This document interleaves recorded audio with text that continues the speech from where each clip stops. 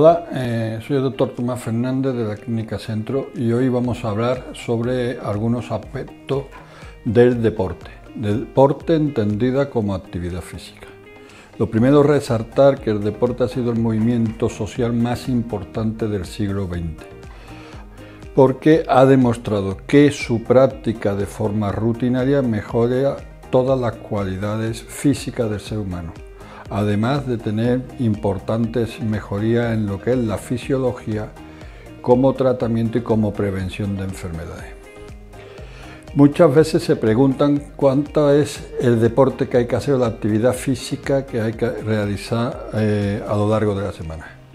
Se considera que para que tenga una repercusión fisiológica mínimo tiene que ser unas tres horas repartidas a la semana. Término medio, media hora diaria o una hora eh, en días alternos.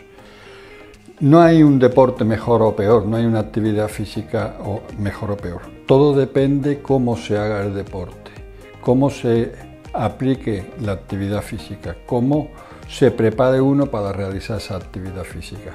una persona que no ha hecho deporte nunca y empezar a hacer un entrenamiento o una actividad física de alta intensidad siempre puede ser peligroso y más cuando no está acondicionado ni preparado ni morfológicamente adecuado para esa persona.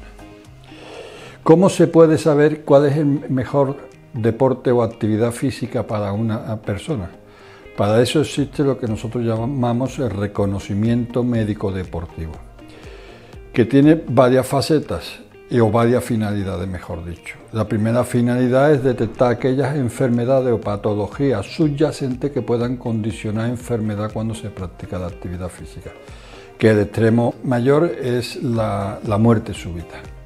Y por otra parte, tiene lo que se llama el consejo deportivo, es decir, una vez que se ha visto a la paciente, que se ha analizado, que se ha estudiado, se le dice cuál es el deporte o la actividad física mejor a su talento deportivo, a su morfología y a su biomecánica, etc.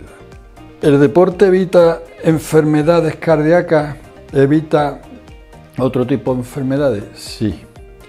Por eso está adquiriendo tanta importancia. Hoy en día, en la estadística de 2018, el 51% de la población de Madrid practica actividad física regular una vez a la semana. ¿Esto qué condiciona? Condiciona que si nosotros hacemos eh, deporte o actividad física de forma rutinaria, vamos a coger hábitos saludables.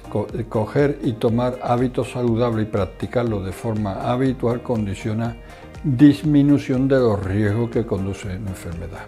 Esto a título preventivo, pero también existe y modernamente se le llama la prescripción del ejercicio como medicamento. En un mundo donde las personas cada vez son más longevas y cada vez se incrementa más el gasto sanitario, la utilización de la actividad física y el deporte como medicamento se abre paso con un futuro de esperanza para controlar este tipo de eh, costos adicionales a la longevidad de las personas.